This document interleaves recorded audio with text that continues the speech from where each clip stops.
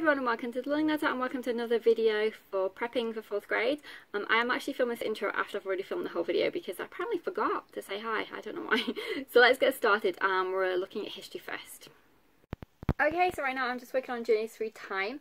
I am on Ancient Greeks, um, but I've also skipped around a bit because when I was on the English National Trust website I ended up getting loads of really great stuff to put into the different categories, different topics that we're going to be doing. Um, so I have gone all around the place. Then you know, I've got I well, I started off doing I did ancient Egypt first, then I went back into the Stone Bronze and Iron Age. But then while I was looking for the Stone Bronze and Iron Age, I found all kinds of stuff on. Um, let me just find my list. Where are we? I'm scrolling down. Um, let's getting out of Egypt. So the Romans, the Tudors, Victorians. Um, there are so many great links um, on there for all different kinds of things. There was recipes. So there was Roman burgers, queen drop biscuits for Victorians, honey oat and spice cakes for the Anglo-Saxons period of history, um, bacon Norman date loaf, bacon medieval meat pie, Tudor smart um, recipe, a, a, Georgian cabinet pudding, uh, wartime eggless Christmas pudding, and and there was also wartime baker syrup cake but without using sugar because obviously it was wartime. So there's tons and tons of really great stuff, and there's lots of links as well to different um, videos that they've made on there. They have a YouTube channel as well. Um, and then also, which is really cool, we were um, members in the worst year ever in terms of being a member of anything when you can't actually go because everything's closed. So we were members of them for the year. And they used to send us periodic magazines for kids magazines and I actually kept them because I thought uh, it was it was um for the you know the next level up and I thought that's great I'm going to keep those until we're ready to use them. I mean you could obviously use them anytime you wanted to but I just thought because I knew we were going to be doing the journey through time in fourth grade I'll keep those magazines for this because there were things topic based. So there was a Vikings one, there was a World War one, there was um, a Romans one, and an Egypt one, and so on. So I kept them safe, ready for this year. But they, because our membership ended, um, they stopped sending us the magazines. However, you can actually download them from their website, which is amazing. So I've done that. So thankfully now we've got all the magazines for each of the periods of history that we're going to be doing. Pretty much. A couple of them aren't there, but mostly. I'm really happy about that. But um, I was super annoyed with them uh, after our membership ended because they'd written to us during, you know, that thing that's happened in the world. YouTube really doesn't like it when you say it in your videos. Um, and said, oh, we'll extend everyone's membership because obviously we're closed and no one can come to any of our historical sites. So like, as I was thinking, great, you know, we'll be able to do some once everything opens up. However, we got a letter saying, um, you know, we, we'll ha we're happy to extend your membership, but you have to renew for the next year. So in order to extend the membership, you had to renew for the next year, which I didn't want to do because of the uncertainty of are things actually going to open or not. I can, that ticket was, I think it was uh, almost 170 pounds for you know family ticket for the um, membership for the year. So I didn't want to renew again. So basically, their offer of renewing was actually not really an offer at all because you had to repurchase a whole new year to get your extended time. So there we go. But they've made up for it a little bit in terms of having all the freebies on their website, which I can use for our history this year. But I'm still sad because there were so many great places that I really wanted to go to, but everything was closed, so we couldn't. But you know, that's life. We're moving on. um, I've also different periods. Um, so I've got I've already, so although I'm actually on ancient Greeks, I've already got quite a few links for the Victorians, World Wars, um, and uh, where else? Wild West. You know, so I've already actually got quite a few things already on paper, well, on the computer for the different periods. But I'm working through the Explore Ancient Greeks book. Um, I'll show you it. Oh, you're resting on it actually. There we go. I'm just prop you back up. There we go. Um, so I'm working through this one at the moment. So basically what, I, what I'm doing, sorry, I still haven't got a tripod, is going through them. Um, see the contents. So just go having a quick look, you know, through them, looking at what themes they are. So for example, um, in this one, there'll be, you know, a section on games and play. So I'll, then I'll see if I can find an activity that could go along with that.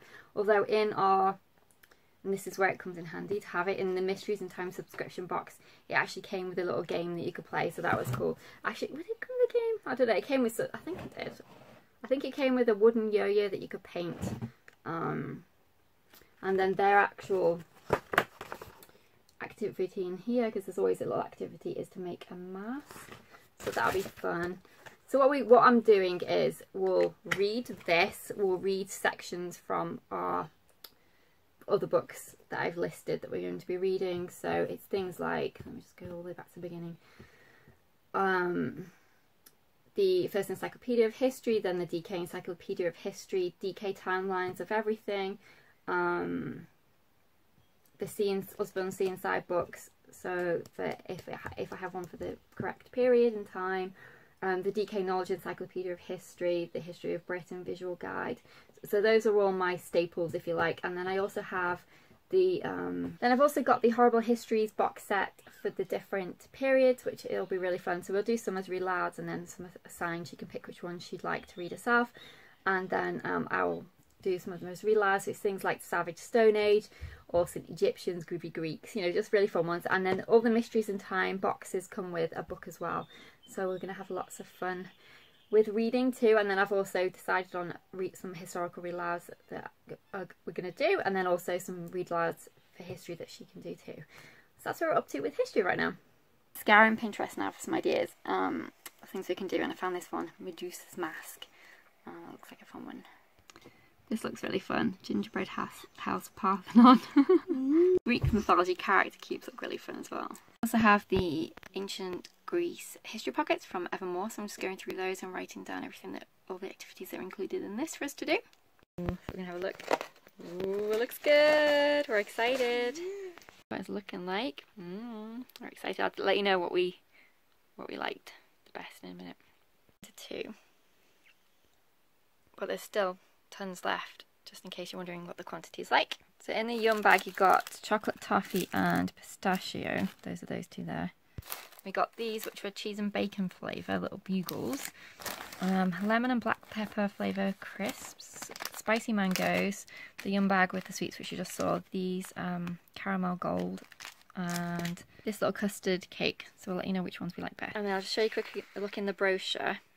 Um, so you get some information about different boxes and some pictures and things from the uh, company and you get all about Spain in 60 seconds. They give you something to listen to and then some words to speak. There's always a recipe. Um, there's trivia, a little trivia exercise and then they give you information about the origins of each of your snack which is really interesting to read. We always read those before we try them and then there's um, some little games here for you talking about a tradition in Spain. There's a res another recipe um, and then a little quiz, and then you get to vote. Oh, I think the voting card's on the other one, but I'll show you that in a second. Then you get the little information about what they sell in the um shop, and then you get this little card um, with all the information about Spain on, and then you get to vote on that one too, and you get a sticker as well. Okay, so try it from now. Um, the little custard cream cake was lovely. These were really nice. These bacon and cheese flavour bugles. Um, the lemon and black pepper flavour crisps were really nice. They were smell amazing. When you first put them in your mouth, it tastes lovely, but then if you bite into them, they are super spicy. um, but I don't do that much spice, so it depends on what your palate's like. These are delicious. They're caramel flavour, like they, they like remind me of the um, chocolate Smarties um, or M&M's. They're caramel flavour and they are gorgeous, so nice. Okay, so my daughter's going to give you her opinion for children. Okay, what is your favourite? Oh, my favourite is is those those golden things. They're very heavenly tasty. Okay, so these golden. Oh, and those are the same heavenly too. Those caramel. Um, and she really likes these ones. They're well. sweet. They're very sweet, but they, they set your tongue on fire. those ones set your tongue on fire. what about the um? They're like like ghost peppers. What about the bugles and the lemon and black pepper? Oh, now those two are heavenly. Okay. Good? So the only one we're not fond is the spicy mango. So who are we going to give those to? um, that Yeah. uh, and, and, the cake was good, not too good though. Uh, she liked the cake, but was, she said it was okay. Not too good, but it was not too good, as in you don't like it, or it was only a bit good? It was a bit good. Okay, the cream-filled snack cake. Mm. So that's our opinion on Universal Yums. I do have a link in the description box um, if you want to get £5 off your first, uh, $5 rather, off your first box. Fact file now, so she's gonna, we're gonna name the country, draw our snacks, put a little dot on where the country is located, what do we know about it from all the information, city, capital city, currency, continent, and draw a landmark. And we use um, the information that they give us to help us, and then we also look in our atlas and find it on the globe. Put it on our scrunch map, and then we're gonna find it on our Oregon Smart Globe. The one is flying the airplane right now. So it gives you a little song and then you can check all these different facts about it as well. Looking the maps book now for Spain. The passport as well. I'm going to read this story of Ferdinand as well. Um, it's a fun one. So she has finished reading her story in Hogwarts Trophies for today and we read this and now she is drawing Ferdinand under his cork tree. It's a lovely little story. We've read it before several years ago but I think she's forgotten and um, it was a lovely little story to read to go along with our Universal Yums for Spain. We're just listening to some Disney music and having a little snack, some passion fruit. We finished school for the day, so now I am going to do some laundry and I'm going to set the printer off to print Beowulf grammar. I am just going to fill it up. Uh, yeah, I'm just going to fill up the ink first before we start printing. The computer always does a different start screen and today it's Big Stonehenge and I love it. and it's also gone really dark, I think it's gonna rain. Ready to fill the Hungry printer. Just yellow and black that were hungry, so they're all fed now, ready to print. There are 431 pages in the student book and um, how many in this one? 143 in this one which is the teacher's manual. This is printing now and I will do a flip through of that in another video. I'm going to prep some dinner now. Um, I'm going to do, you know, the tray bake style. And I've got some chicken, some peppers, pineapple, corn, uh, red onion. I'm going to either serve with potatoes or rice. Uh, if I, if they want, everyone wants potatoes, I'll put them on the tray bake. If everyone wants rice, then I'll cook them separately. Just come out of the oven. It looks delicious. Okay, so now I'm working on getting some different clip art things that I can use in our history journal. So I want to make it a journal style, so that's what I'm trying to go for, so that sort of uh, style. So lots of um, hand-drawn um, you know, things on the page for her to fill out and um, you know, journal through this big stack, our big periods of history that we're going through. So obviously I already have printables that printable templates that I can modify that from that I've made myself that we can use. So for example, we can do a comic strip from a different period of history. We can do a mini book. Obviously, it's not going to be science, but you know, a mini book from a different period of history. We can write a letter to a historical person. Um, we can study an actual person throughout history. So I can reuse a lot of my printables anyway that I've made previously.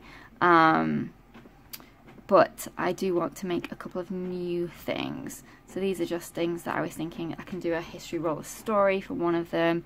Um, I can we can do a character setting problem historical story. So you know which historical characters are going to be in our story. Where is it? What period of history is it taking place in? What problems did they have? So it could either be fiction or non-fiction.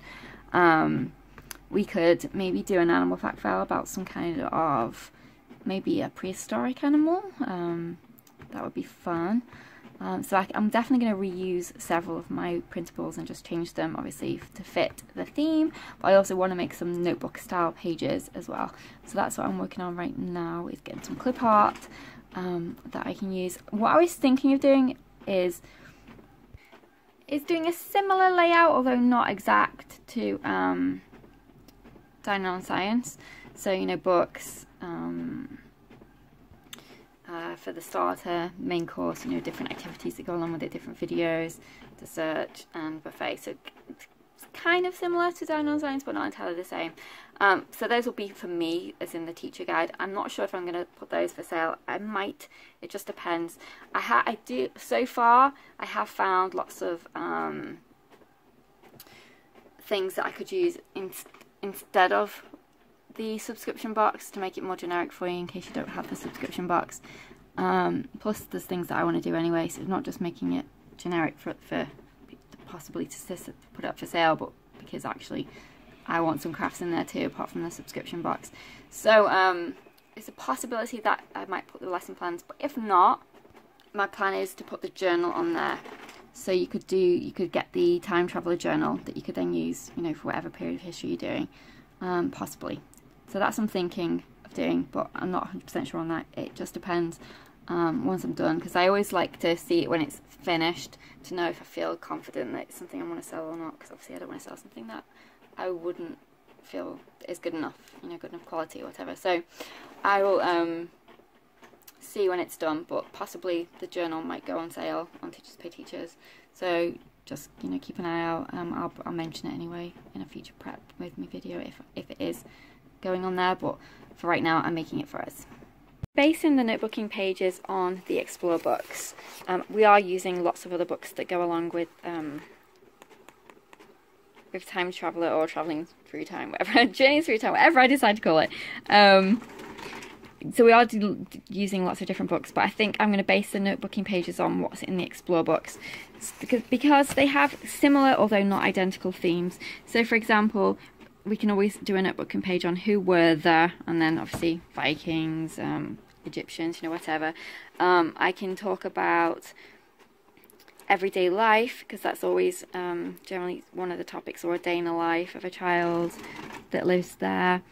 Um, we can always look at their belief system there. We can look at facts and figures. We can do a timeline. Um, you know, village life, uh, stories, poems, if there's any, you know, that sort of page. Um, so this is where my principal would come in handy, so that a warrior's letter, so she could do her own letter. Um, so yeah, so that's my kind of what my thought process is for how the journal's going to look like. So different headings for various topics that have, that seem to line up with what appears in the Explore books. Um, and then maybe some generic ones that we can use with any kind of um, any historical book that we have. Uh, so I think that's what that's what my journal's going to end up looking like. Finished printing. Um, I'll do a flip through of this in another video. And I think I'm going to leave this video there for now. So take care and I'll see you in our next one. Bye for now.